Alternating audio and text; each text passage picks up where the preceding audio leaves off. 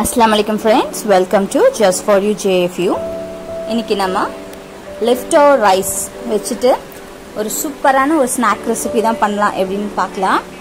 இப்போ டக்குன்னு யாராவது கெஸ்ட் வந்துட்டாங்க. நம்ம ஸ்நாக் எதுவும் இல்லை வீட்டில் எடுத்து வைக்கிறதுக்கு அப்படின்னா கண்டிப்பாக நம்மக்கிட்ட ரைஸ் இருக்கும். ஸோ அந்த ரைஸ் வச்சுட்டு நம்ம இந்த மாதிரி ஒரு சூப்பரான ஒரு சீஸ் பால்ஸ் நம்ம ரெடி பண்ணி கொடுத்துடலாம். ஸோ அதுக்கு ஒரு கப் ரைஸ் எடுத்திருக்கேன்.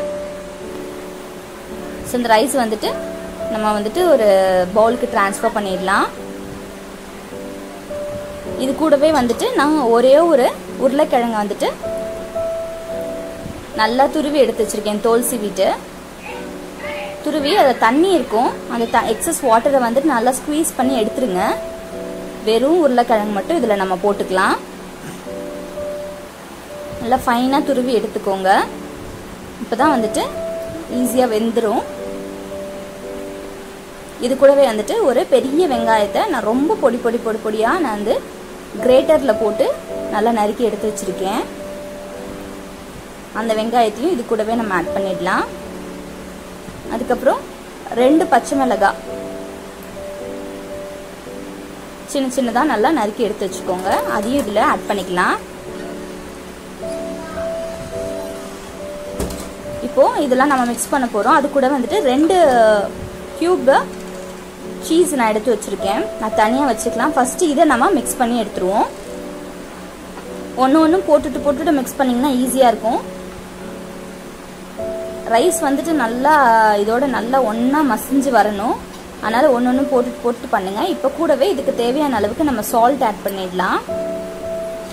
இப்போ இது கூட என்னென்ன மசாலாஸ் ஆட் பண்ணலான்றதை பார்க்க போகிறோம் ஜீரகம் கால் டீஸ்பூன். மிளகுத்தூள் கால் டீஸ்பூன். ரெண்டுமே பவுடர் தான் நம்ம ஆட் பண்ணியிருக்கோம். நல்லா ஃபைன் பவுடர் தான் ஆட் பண்ணியிருக்கோம். அந்த மாதிரி மிளகாத்தூளும் வந்து ஒரு கால் டீஸ்பூன் இதில் ஆட் பண்ணிவிடுங்க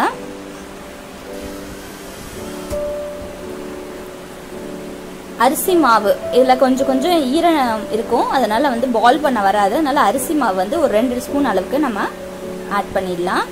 ஆட் பண்ணிவிட்டு இதை வந்து நல்லா கம்ப்ளீட்டாக மிக்ஸ் பண்ணி எடுத்துடலாம்.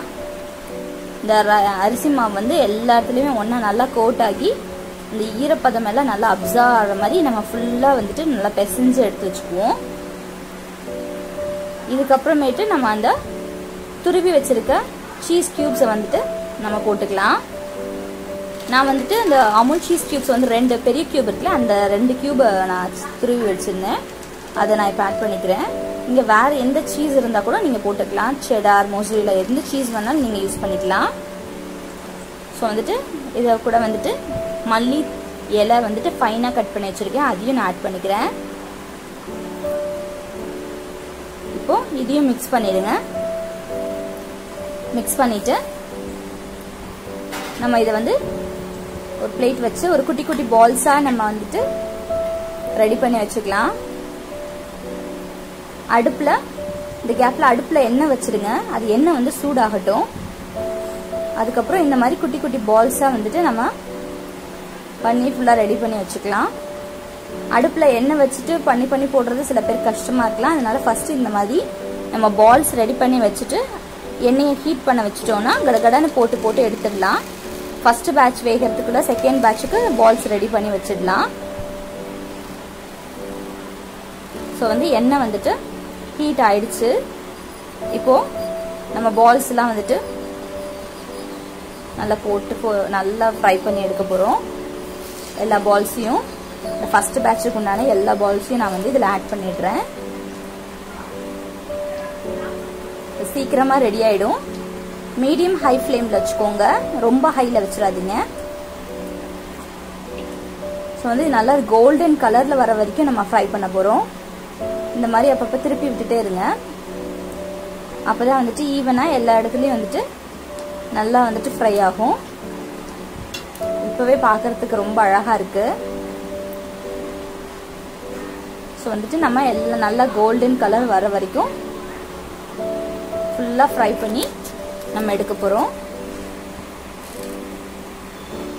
ஆக்சுவலாக இது வந்து நீங்கள் வந்துட்டு லெஃப்ட் ஓவர் ரைஸில் பண்ணிங்கன்னே யாருக்குமே தெரியாது. அந்தளவுக்கு இது வந்து ரொம்ப டேஸ்டியாக இருக்கும்.